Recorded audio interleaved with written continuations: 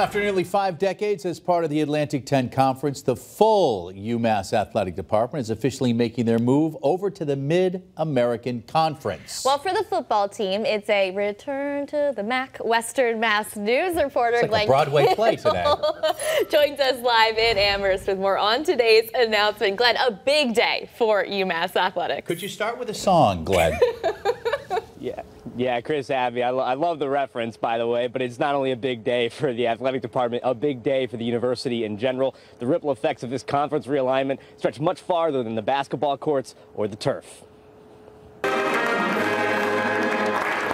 A 48-year run in the Atlantic 10 Conference is coming to a close for UMass Amherst. The university officially announcing their move to join the Mid-American Conference, or the MAC, at the end of the 2024-25 season, rounding out a conference featuring Ball State, Bowling Green, and Ohio University. This transition and this decision was not made uh, without great thought for what's ahead for our athletics program.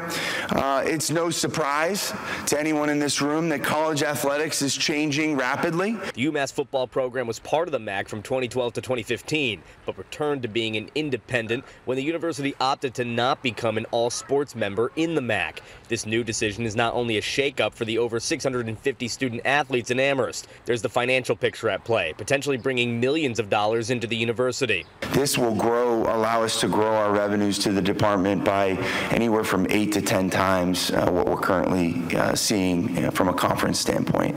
Um, right as we enter the league. And I think the ability to grow that over time is really going to be an impactful piece. In terms of a financial impact moving to the MAC has on the students, UMass Amherst Chancellor Javier Reyes says that's to be determined. However, he and Director of Athletics Ryan Bamford both agree the move has more positive impacts to the university than negative. We went into this knowing that we also need to have more resources, not only for our athletics program, but also for our university.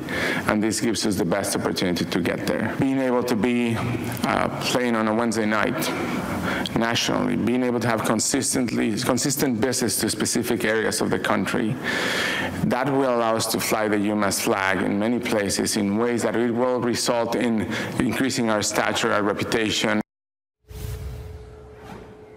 Now, coming up at 6, we're going to take a closer look at how this new conference realignment affects the athletes with, more, with different matchups, a lengthier travel schedule, and possible better NIL deals for those athletes. Reporting live in Amherst, Glenn Kittle for Western Mass News.